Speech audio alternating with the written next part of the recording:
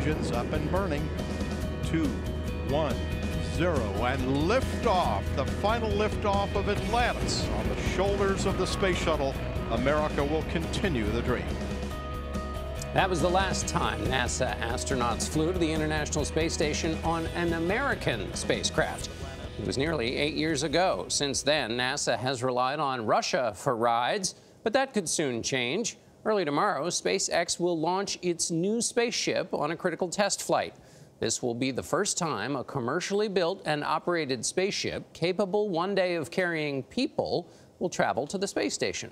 Mark Strassmann is at the launch pad on Merritt Island at Kennedy Space Center in Florida. Mark, good morning.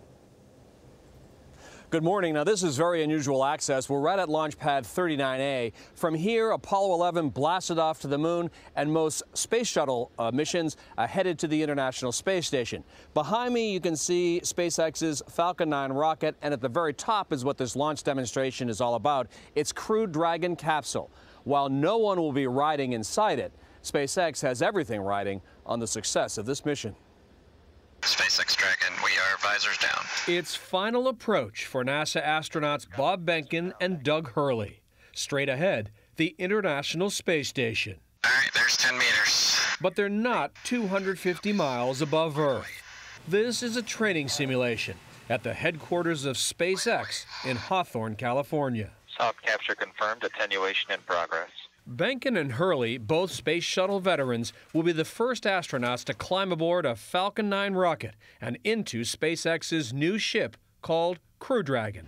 And liftoff. Falcon 9 is the company workhorse, launching 20 times last year. But Crew Dragon needs a successful test flight called Demo 1 before SpaceX can fly people.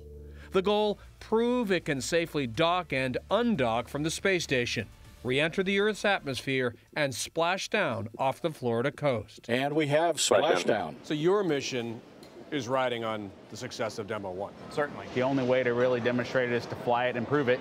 You know, I'm from St. Louis, Missouri. It's the, the show me state.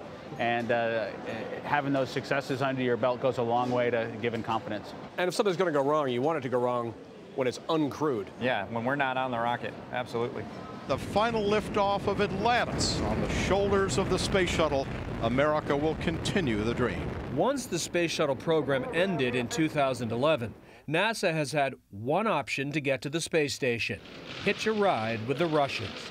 A round trip ticket on a Soyuz rocket costs $81 million per seat. That is now changing. NASA has hired two companies, SpaceX and Boeing, to design and build new space taxis. We are on the brink of launching American astronauts on American rockets from American soil. Jim Bridenstine is NASA's administrator. Some of this is American pride. Prestige. I like to use the word prestige. Great nations should be able to, to launch their own astronauts into space. Dragon SpaceX for C2V2. Both companies have learned space is hard. Both are running more than two years behind schedule. And with neither yet certified to fly people, NASA is considering buying two more Soyuz seats to guarantee continued American access to the space station. Are you concerned about the delays? So we don't like delays. We, we don't like delays. But worse than a delay is launching something that's not ready. Mission success and safety is the number one overriding concern and we're not going to do anything to put these crew in jeopardy. There is no cost or schedule pressure here whatsoever. Now, inside the Crew Dragon capsule, SpaceX is sending a dummy named Ripley, a smart dummy equipped with sensors all over to gauge the impact of this flight.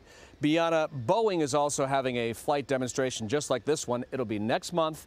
It will send up its spaceship called Starliner. Literally a new frontier, Mark, and, and we are wishing Crew Dragon a very successful mission. Thank you so much.